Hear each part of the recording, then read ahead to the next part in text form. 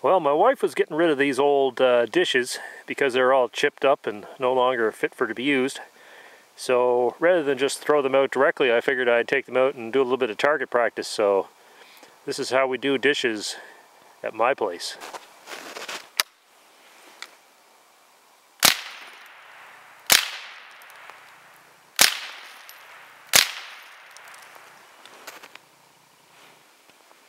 Don't you just love doing dishes? All right, time to do some plates.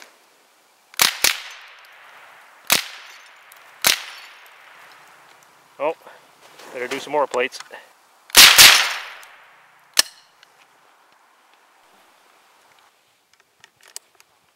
You know, normally I don't enjoy doing dishes, but uh, I can get used to this method of cleaning up.